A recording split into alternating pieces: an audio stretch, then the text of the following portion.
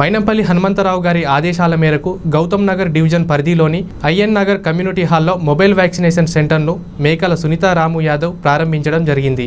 ఈ సందర్భంగా కార్పొరేటర్ మాట్లాడుతూ మొబైల్ వ్యాక్సిన్ డ్రైవ్కు మంచి స్పందన వస్తుందని ప్రజలు ఈ అవకాశాన్ని సద్వినియోగం చేసుకోవాలని అన్నారు. కార్యక్రమంలో రాము యాదవ్ నాయకులు కార్యకర్తలు పాల్గొన్నారు.